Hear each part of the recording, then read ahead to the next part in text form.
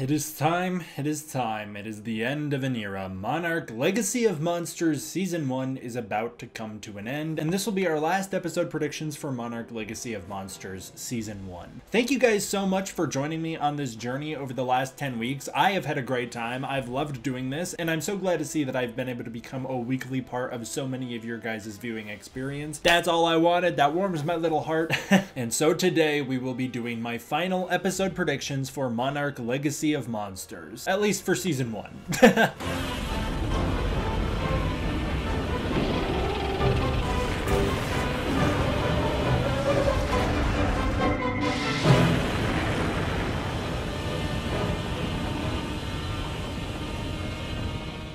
What's up everybody, D-Man back. Welcome to a brand new video and today we're going to be doing my Season 1 Episode 10 predictions for Monarch Legacy of Monsters titled Beyond Logic. Shout out to the title, I like that a lot. Obviously Beyond Logic is a reference to their little saying that they have in the show, Beyond Logic Lies the Truth, which I think is so cute. I really like that name and I'm really excited to see this episode. Picking up where we left off in the last video, if you haven't seen our last Monarch Legacy of Monsters discussion, we talked all about the surface world. I got into how I think Godzilla could potentially be sending Monarch messages through those gamma bursts that Barnes was able to decode. I also talked about some potential cameos that might pop up in this episode. We spend the whole time discussing the surface world, what's going on with Kentaro, Hiroshi, Tim, Monarch, all of that juicy stuff. So in this video, it's time to dive into the Hollow Earth, go into Axis Mundi and find out what's going on down there, how that's all gonna play out, and what the final battle's gonna look like. Before we get into the full discussion though, I do want to say, as I said in the last video, I have a plot synopsis for this episode episode, as well as I have some HD stills and there's a video for this episode that's out there, a teaser video, so I want to discuss all of that really quickly. The plot synopsis for this episode states, season finale. The team struggles to find a way out of Axis Mundi. Kentaro and Tim make an unexpected alliance. As for the pictures we've seen, there is a picture of the Ion Dragon flying around. That's actually from one of the trailers, so I don't really feel like I need to spend too much time talking about it. It's pretty cool. I think the visuals are great. And then for the other picture, it's Lee Shaw standing outside of that pod. Now, we do know they're going to return to that pod from the last episode, the one that takes them into the Hollow Earth. I think that's going to be how they're trying to get out of the Hollow Earth is by getting into that pod. That's what the teaser clip would imply anyways. This picture kind of has this vibe of this might be the sacrificial moment for Shaw that I'm going to talk about later in the video. I think Shaw is going to have a big sacrificial moment and I think this picture could be that moment. The teaser clip shows Keiko, Kate, May, and Shaw all inside the Hollow Earth pod and they're trying to activate the Gamma Burster to try and signal a monster to get them out of the Hollow Earth only to discover that uh-oh, there's the Ion Dragon. So now that you're all caught up on all that, let's get on with the discussion. As far as Axis Mundi and everything going on there, well, many are saying that Axis Mundi isn't the Hollow Earth. It is a separate location. It's a place in between Earth and the Hollow Earth. If that is the case and that is what they're doing in the show, which I don't think it is, I think they're just not calling it the Hollow Earth because Monarch doesn't officially acknowledge Hollow Earth until 2024 in canon, so there's a long time to wait before Monarch owns up to that stuff. I think Axis Mundi is simply just this show's interpretation of it, and why it looks different comes down to stylistic differences between the creatives involved, whereas they have a much bigger budget in Godzilla vs. Kong and the New Empire, so they can show it off a little more and make it a little more whimsical. This show is clearly a much more serious show, and so it's a more dense atmosphere. You can't see the world on top of the world. It's played a bit more serious, and I think that's going to be the difference. As far as it being a world between Earth and the Hollow Earth, that doesn't make sense at all for a lot of reasons, but the number one reason is we've seen the Hollow Earth. We've seen the scans of the planet in Godzilla vs. Kong. We see the tunnel network leading to Hollow Earth, and we see Hollow Earth as a scan. So we already know what the planet looks like, and there's not a separate layer in between Earth and the Hollow Earth where this could exist. Also, it doesn't make any sense at all, because this was accessible from all places on the planet. You could get to it from Kansas, and you could get to it from Kazakhstan, and you wind up in the exact same place both times. The only way that's possible is if you're falling into the center of those two things, and the center of the circle is always the same. Therefore, the Hollow Earth would always be the same place you go. So I don't think they're going to introduce another realm in the middle of the Earth, because that overcomplicates things, and it's also like, so if there's two Hollow Earth type locations, why are both of them considered the home of the monsters? One of them would be the home of the monsters, the other one would be like a pit stop on the way there. It doesn't work for me at all. Either way, I think the episode will start out and we're going to find that Shaw, while still trying to find Kate, has also been trying to find his old ship. I think that's what he's going to be searching for, and I think he's going to take May there and be like, okay, this is our base camp, we can set up here, and at the very least now we have a place to go to meet up. And I think think they're actually going to discover that they're not the only ones headed there, as I think that's where Keiko has been living this whole time. That would make sense to me anyways, that she would find something familiar and live there. I think Keiko won't actually have been down in the Hollow Earth as long as it may have seemed. I think that she will have been displaced by time. Similar to how Shaw was displaced by 20 years when he went to the surface, I think that for some reason, only 10 or so years have seemed to have passed for Keiko as she is roughly the same age. I don't think that the characters are aging at slower rates in this show. Maybe they are, as Shaw did contain radiation when he went back to the surface, but I think that it's just the time displacement, as Shaw is in his 70s in the show, and that makes sense if he lost 20 years of his life. He should be in his 90s, but instead he's in his 70s. That checks out. As far as Keiko's concerned, what if she just got zapped straight through time and wound up landing after Shaw? That very well could be what happened to her as well. So maybe the characters still age at regular rates, it's just that they wind up missing these enormous periods of time. And I don't think that our characters, upon returning to the surface, are going to wind up years in the future. It's possible that the episode ends with a twist reveal that they're like five years in the future and they're post events of King of the Monsters or something. That's entirely possible. I think it's not as interesting because it limits your future season potential, and I think the writers probably know that. So by taking the normal device to get into the Hollow Earth out of the Hollow Earth, I think that device is going to be the thing that keeps them not dilating through time. I think there's going to be a super emotional reunion between Shaw and Keiko, and they're going to have a big moment together, and during this, Kate and May are going to have a big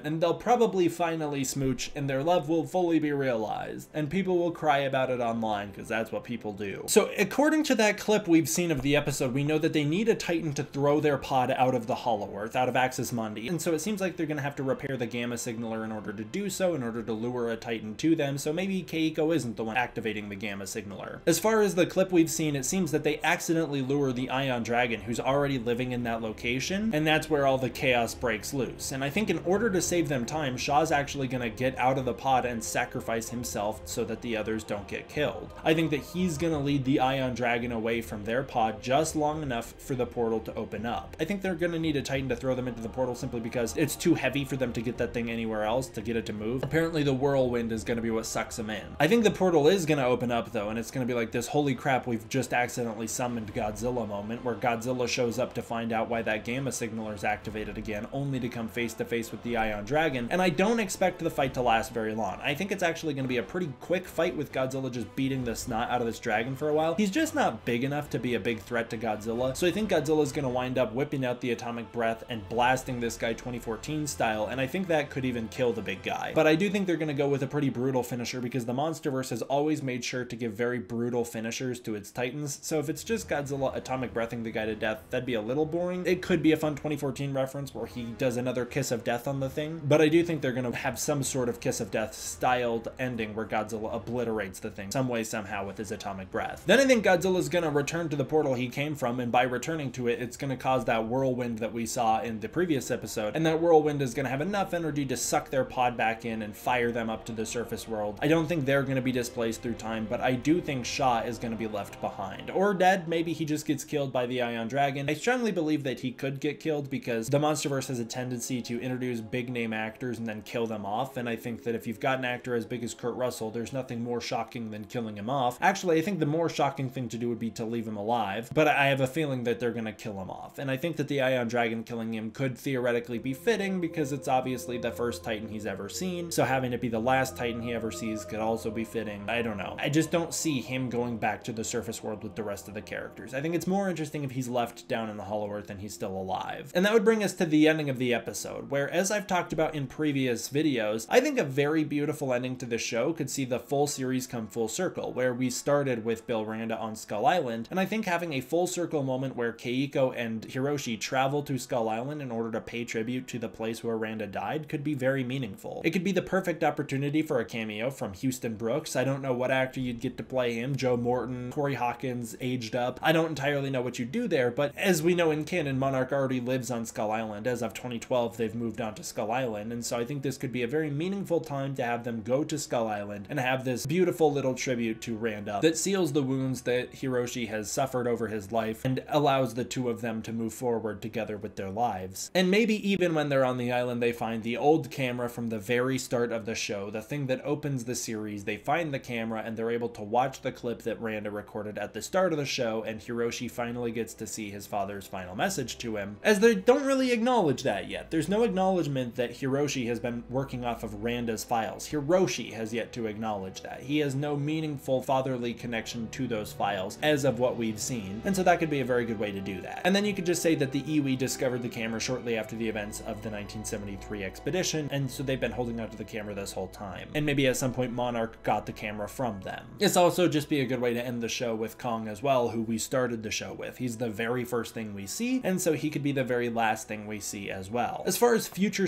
setups for future seasons go, I think they're going to be fairly light on it, but I do think there will be some stuff. Hiroshi's work, I think, is going to be left unfinished, and maybe it will even be picked up by Apex and have some massive consequences for all of the characters. I think the show will end with Apex learning that Skull Island exists, and so that'll set up for future seasons, Apex planning to go to Skull Island to harvest the Skullcrawler eggs and do whatever else they do on that island. I think that's going to be something that happens. So I think at some point we're going to have that character Brenda return and she's going to learn that Skull Island exists.